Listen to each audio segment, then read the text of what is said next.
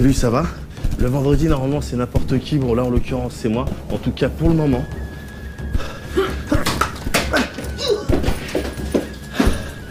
Je dois absolument rejoindre le plateau pour pouvoir le présenter, justement.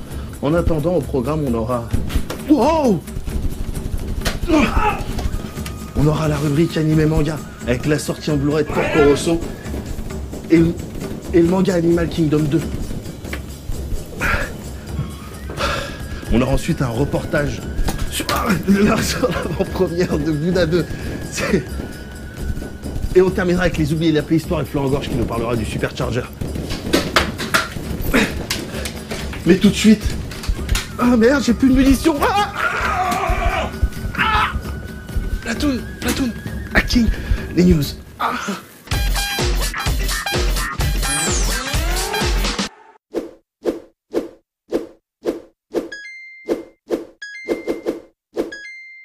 Vous êtes très certainement au courant de l'existence de ce jeu gratuit qui a énormément fait parler de lui ces derniers temps. Sorti en mai 2013, Flappy Bird est un Endless Runner, un jeu à la Jetpack Joyride où l'on contrôle un oiseau qui tente de voler le plus loin possible dans un dédale de tuyaux verts emprunté à Mario Bros. Créé par un développeur indépendant vietnamien nommé Dong Nguyen, ce titre a rencontré un succès hallucinant quelques mois après sa sortie pour finalement être téléchargé plus de 50 millions de fois. Ce succès international a eu de multiples conséquences. Il a attiré l'attention des médias internationaux, le développeur a été soupçonné de tricher avec le système de téléchargement de l'App Store via l'utilisation de bots, il a été accusé de plagiat par le développeur français Keck à l'origine d'un titre en effet très similaire nommé Piu Piu contre les cactus, et si Flappy Bird était téléchargeable gratuitement, les bandeaux publicitaires intégrés à l'appli auraient rapporté à son auteur 50 000 dollars par jour. Vous aurez noté l'emploi du conditionnel passé dans cette dernière phrase. Dong Nguyen a en effet retiré son appli des boutiques Apple et Google il y a quelques jours, en déclarant sur Twitter qu'il n'en pouvait plus, sans donner plus d'explications. Le développeur recevait en effet des centaines et des centaines d'insultes en ligne, ainsi que des menaces de mort de joueurs furieux pour telle ou telle raison. Et il semblerait également qu'il n'ait pas supporté la soudaine attention que les médias lui ont portée, ainsi que les questions liées aux accusations de plagiat et de triche. La menace d'éventuelles poursuites juridiques aurait aussi pu jouer un rôle dans sa décision, même s'il a nié cette allégation sur Twitter. Quoi qu'il en soit, Flappy Bird est devenu une rareté, au point que des smartphones avec l'appli téléchargée sont vendus de petites fortunes sur Internet.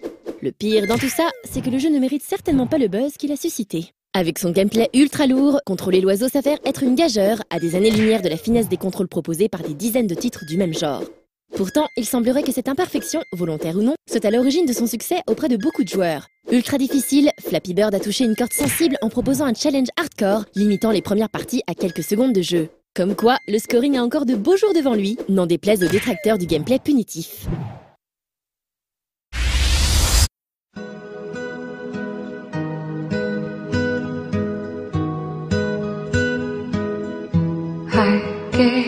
Black Bar est un jeu épistolaire disponible depuis quelques temps sur tablette Android et iOS, développé par Never Morgan et James Moore. Dans un futur dystopien, vous recevez des lettres d'une amie qui vient de trouver un nouveau boulot, pas si que ça. Mais toutes ces lettres sont désormais d'abord relues par le comité de de, de rédaction de l'organisation. À vous de trouver les mots qui se trouvent cachés sous les noirs. Expérience assez courte, peut-être une grosseur, et réservée à ceux qui ont un bon niveau d'anglais, Black Bar est doté d'un concept qui fait mouche, doublé d'un peu du monde. À la Brésil ou The Stanley Parable, ce qui marche toujours autant.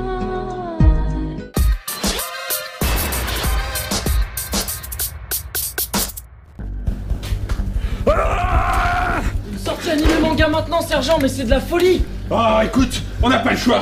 Il y a Porco Rosso qui sont en Blu-ray.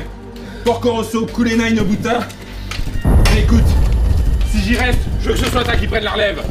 D'accord, sergent, allez-y Ah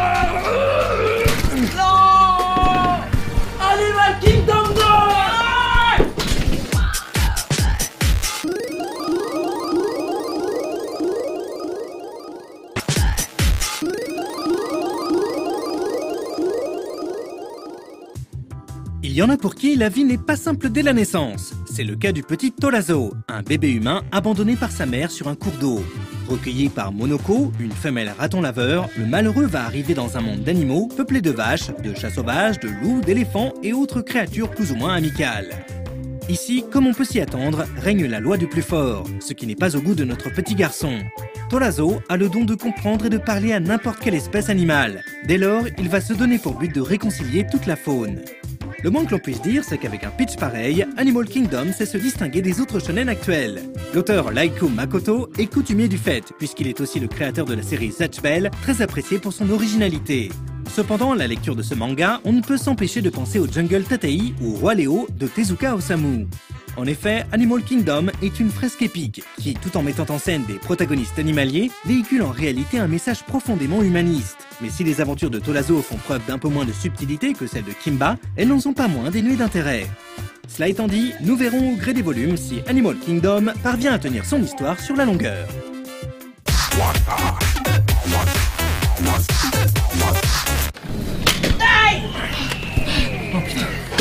Ça, c'était mon coup de sommation Alors vous allez sortir maintenant Putain, Brian, on va rester.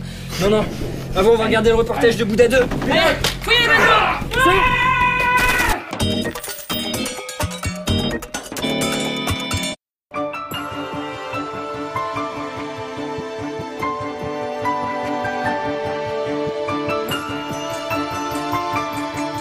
27 janvier 2014, le public français a pu assister à un phénomène inhabituel. Une tentative de grève directe d'un authentique bout de showbiz japonais en plein cœur de Paris. Toei Animation, en compagnie des autres producteurs et partenaires du film Bouddha 2, ont mis les petits plats dans les grands pour s'offrir une luxueuse avant-première mondiale à l'auditorium du Louvre, rien que ça.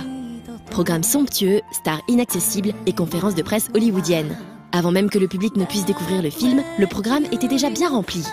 Petit concert dirigé par Oshima Michiru, extrait d'une représentation de No par le maître Kanze Kiyokazu, qui prête sa voix au père de Siddhartha, présentation par l'équipe du film, message du Dalai Lama, tout était fait pour en mettre plein les yeux, principalement aux médias japonais.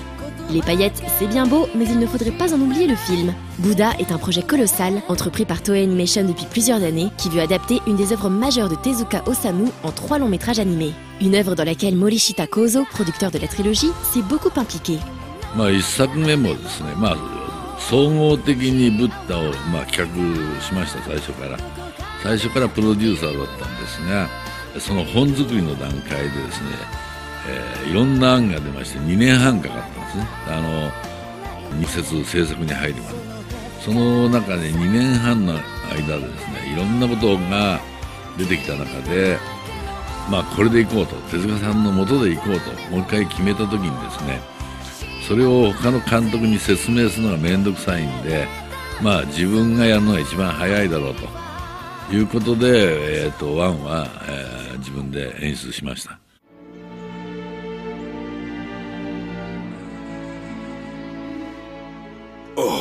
Maître Asita, est-ce qu'il y a un problème Regardez la position des mains de cet enfant. L'une indique le ciel, l'autre la terre.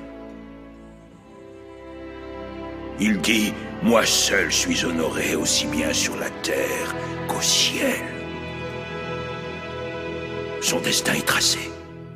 やっぱりもう総合的にプロデュースしてますから2も3も、えー監督したいし、まあ、2はもうかなりの分は基本的に、まあ、ネットの公式ホームページ見ていただくと分かると思いますが私が一人で騒いでますから、えーそれはやりたいと思うんですが、まあ、あの2の時はですね、えードラゴンボールの神と神というムービーも、えープロデュースしてましたし、キャプテンハーロックのこの 3D のプロデューサーもやってましたし、ブッダの3これのプロデュースやって、それから今度セイントセイヤの1年間に4本の作品を上げるという、まあちょっとハリウッドでは考えられないような、えー過密スケジュールの中で、どうしてもやっぱ監督っていうところに専任しなきゃいけないし持ち場はできないなということであの小村にいたんだということでございます。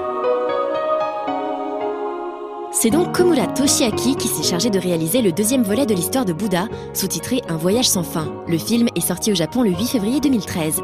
Le réalisateur est discret, mais a travaillé sur de nombreuses productions Toei Animation. 最初にやったのはもうかなり前で日本のテレビシリーズの「現実通信あげ玉」っていうのでデビューしましてその時が大体いくつぐらいだったかな？もう20ほとんど20代後半でしたね。29とか28ぐらいでなってで東映アニメーションの仕事をね金田一少年の事件簿っていうので始めてでそこからねずっと東映の仕事が多いですね。基本まあフリーなんですけどね。あとはずっとテレビの、えーと、プリキュアだとか、えーとまあ分からないかもしれないですけど車田正美っていう漫画家がいてそれの「リングにかけろ」っていうシリーズのテレビシリーズの監督をやってあとそのプリキュアのスプラッシュスターっていうのとプリキュア5っていうのをやりましてずずっとあとはテレビの演出やってたんですよね。でこの「ブッダ2」でいきなりえー、っとこのこのともう50になるんですけどこの年になってえーっていう感じでしたねしかも手塚治虫先生の作品がね子供の頃から見ている Il a donc assuré l'adaptation d'un titre qui possède une aura toute particulière au Japon. 日本って大体漫画をねちっちゃい頃読んでるとまた漫画ばっかり読んでてバカにされてた僕らの世代はそうなんですね今はもう文化になってますけどだからなんかそこでもね親はねやっぱ手塚治虫の漫画だとちょっと違うんですよね。うんうん、じゃあ買ってきてあげるよって火の鳥買ってきてくれたりするだからその時代でも割合親も認めていた作品だったんですね。そこを、まあ、ずっとそのトイアニメーションの割合お子様向けの作品を多くやってましたからそこで手塚作品をねやることになるっていうのはすごい感慨深いものがありますね、えー、すごい人間ドラマが展開されていく話ですからねブッダは。Le film se destine à un public familial, pourtant le monde dans lequel vit Bouddha peut s'avérer dur et cruel. 僕はねこれは割合大人向けの作品だと思って作ってたんですよ。で根底上げて、まあ、大人向けだからあれだよね。結構狼に食われたりするけど大丈夫だよねって言ったらいやこれはある指定はないので親子連れでちっちゃい子様も見ますって伺ってあそれは聞いてなかった。らそうあ僕が勘違いしてたんですね。それであこれ逆にちっちゃいお子様にこれ分かるのかなっていうのがただ表現はそういうのもあってちょっと狼に食べられるしもちょっと色を決める時にシルエットっぽくしたりとかいろいろしたんですけどただやってる行為は結構残酷なんですよねだからうんまあこれただこういう苦しみがあるっていうのを表現しないと多分伝わらないからそこはしょうがないんですけどねだからそこをちょっと後付けで気が付いてああってちょっと悩んだところはありました。生きるのに必要以上のものを求めると争い事が起こります Dans le second film, Bouddha atteint l'éveil, mais il reste encore à raconter la fin de l'histoire, ce qui semble causer bien des soucis au producteur, Monsieur Morishita.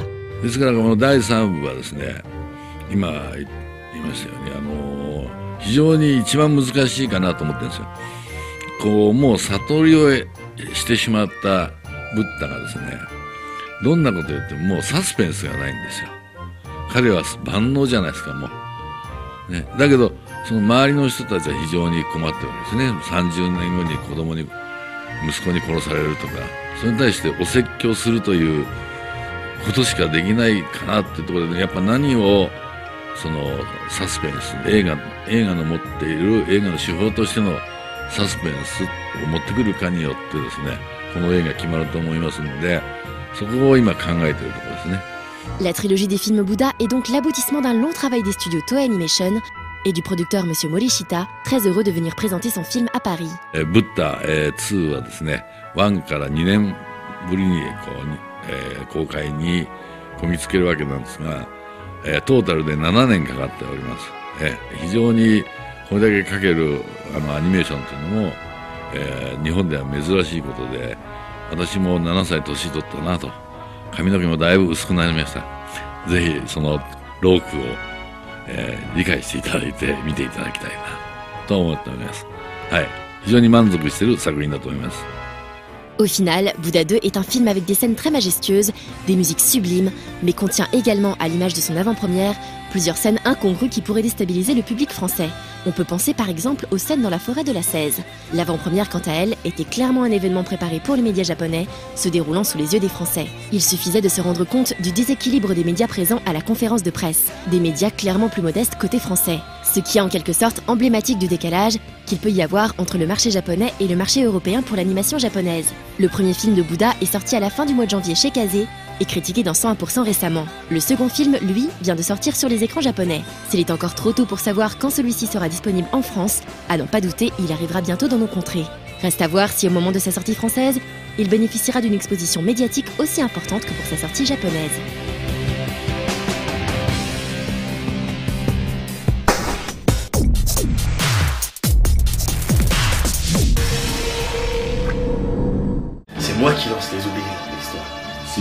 Les oubliés, ça sera la dernière chose que tu feras. Ah ouais.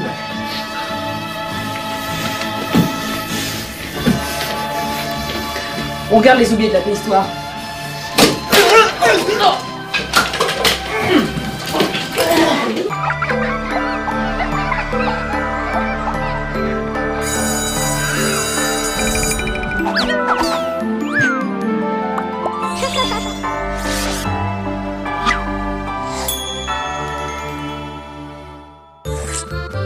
Mes chers enfants, l'Atari 2600 est indéniablement l'une des machines les plus importantes et marquantes de toute la préhistoire.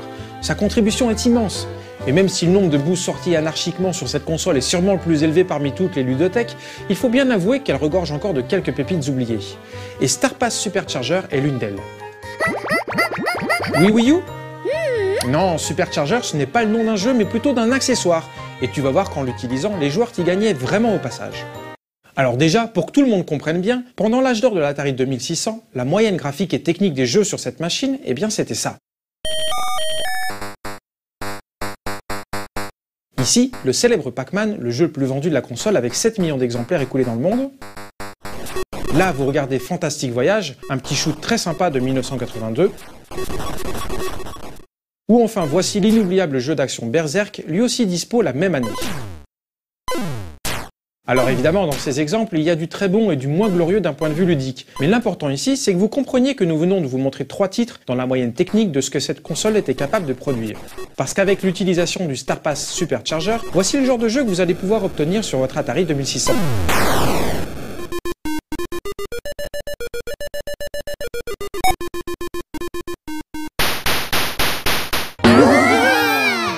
Ces images sont bien des jeux tournant sur Atari 2600, une console de 1977. Avec le Supercharger, sorti à la fin de l'année 1982, la console semble avoir pris des produits ultra dopants. Oui, Vita Ben j'allais justement vous parler de ça. Prenez des notes, hein, parce que voici comment cette prouesse a été rendue possible. Le supercharger, c'est cet accessoire ressemblant à une longue cartouche que l'on insère directement dans l'emplacement habituel de la console. Ce module va ensuite servir d'intermédiaire entre la machine et de tout nouveaux jeux, beaucoup plus performants que ceux d'alors. Cette prouesse est rendue possible parce que le supercharger embarque avec lui une mémoire RAM ultra dopée et capable de venir en aide au CPU vieillissant de la console. Pour parler concrètement, avec le supercharger, l'Atari 2600 se dote d'une mémoire RAM de 6272 bytes au lieu de ses 128 initiales. Oui, vous avez bien entendu. La mémoire vive est désormais 49 fois plus rapide et performante. La société responsable de cet incroyable produit est StarPass, fondée par deux anciens Atari, Bob Brown et Craig Nelson, fatigués d'être limités par la faible mémoire vive de la console.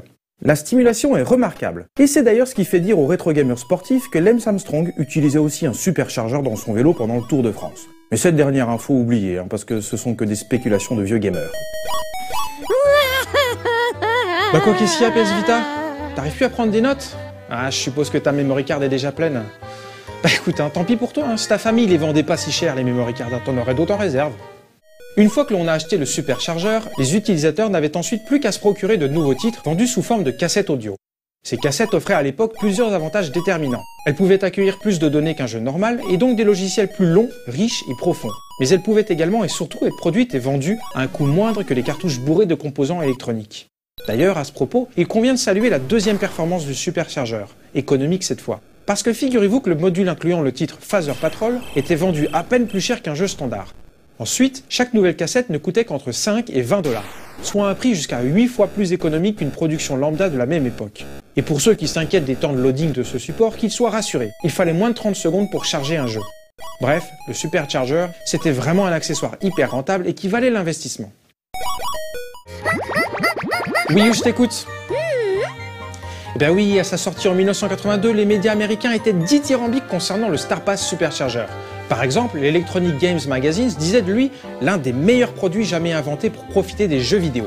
Tandis que le Rolling Stone Magazine s'enflammait, le Supercharger va révolutionner l'industrie du jeu vidéo. Ne vous réjouissez pas trop vite mes enfants, car si nous en parlons aujourd'hui, n'est-ce pas justement parce que tout le monde l'a oublié? Eh oui, en dépit de ses jeux surboostés et de son prix ultra attractif, le superchargeur de Star Pass ne marquera pas l'histoire de son empreinte. Certes, ça n'a pas été un four commercial, mais il s'est moins bien vendu qu'espéré. Il faut dire que cet accessoire est sorti au pire moment de l'histoire américaine du jeu vidéo domestique. Quelques semaines plus tard à peine, Atari et les autres acteurs voyaient le marché des consoles s'effondrer littéralement sous leurs pieds. La crise du jeu vidéo US de 1983 venait de frapper, et le superchargeur n'a rien pu y faire. Franchement, pour le coup, c'était vraiment pas de bol, parce qu'on reprochait au jeu de la console de tourner en rond et les performances du superchargeur auraient justement pu aider les développeurs à innover et à varier l'offre ludique. Voilà mes enfants, ce sera tout pour aujourd'hui. Et pour la semaine prochaine, je vous demanderai de mener l'enquête pour savoir si les coureurs du Tour de France étaient éventuellement d'anciens joueurs d'Atari 2600.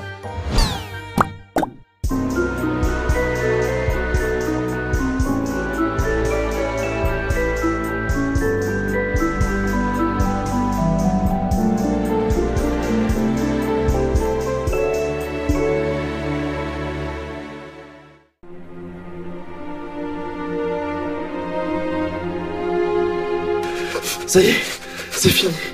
On s'en est sorti. On s'en est sorti, Mehdi. J'ai si froid, Moguri.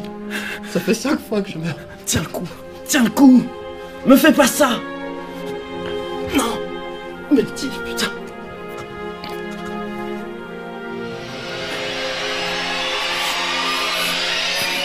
Aïe, putain.